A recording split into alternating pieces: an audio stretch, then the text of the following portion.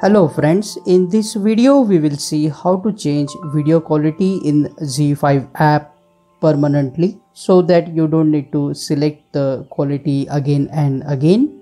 To change the video quality in Zee5 app, here at the bottom you will see the option more. Click on the more option and you will see this menu. In this menu, click on the settings icon and you will see various options. Under the video streaming, you will see here the quality at present is auto. Click on the auto option and you will see these various qualities, video quality options. Click on the best option to select the highest resolution. Now if you want to save the mobile data, you can on this stream over Wi-Fi only so that the quality of the video will be highest only when you are connected to the Wi-Fi.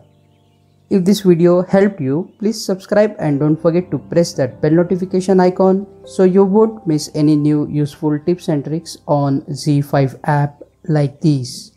Thank you.